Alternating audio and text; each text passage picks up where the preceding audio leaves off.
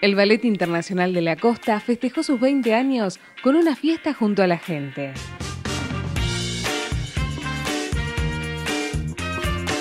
Llegaron los 20 años tan esperados, bueno, no sé si tan esperados, pero sí con muchas ganas de festejar. Que una institución cumpla 20 años realmente es algo importante.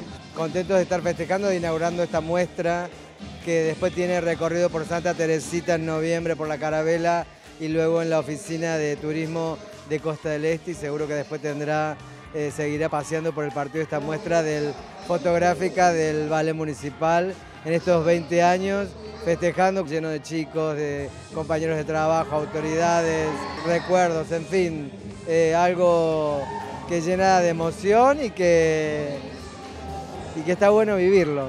Cumplir 20 años en una institución no se logra siempre, Así que muy felices de poder festejar nuestros 20 jóvenes años. Súper emocionante, sí. La verdad que se nos llena la cabeza de recuerdos y de anécdotas. Sí, es todo, es nuestra forma de vida, así que es todo. O sea, bailar, shows, vestuario, es todo. El amor, el amor no solo por el baile, sino por el lugar, porque esta es nuestra segunda casa. Así que el amor a una ropa al lugar, a una barra, a un espejo, a, bueno, a la danza, a todo. Eso es lo que tratamos siempre de demostrarle, el cariño que nosotros tenemos por cada mínimo detalle que hay acá adentro.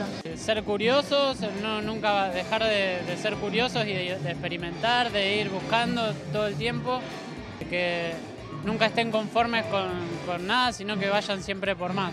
Es un orgullo poder, hace 18 años que estoy en el ballet y poderme haber formado, oye, bueno, no solo estar bailando, dar clases, como que nos enseñaron a todo, a valorar el lugar, las mínimas cosas y la verdad que eso haberlo logrado acá en el partido y no haberme tenido que mover y trabajar encima, sobre todo de lo que nos gusta, es muchísimo.